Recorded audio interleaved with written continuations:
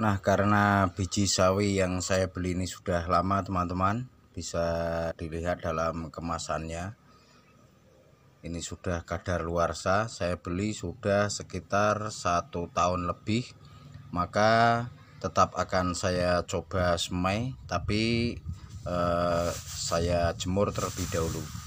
Ini nanti saya jemur sekitar kurang lebih satu jam di terik matahari. Terus setelah sekitar satu jam kita e, letakkan di tempat yang teduh misalnya di sini. Terus nanti kita letakkan di tempat semula. Baru nanti sore akan dilakukan e, penyemaian jadi disemai terlebih dahulu lahan yang sudah disiapkan. Untuk lahan yang akan saya tempat semai biji sawi ini nanti di lahan Eh, bekas cabai seperti ini. Semoga bermanfaat. Terima kasih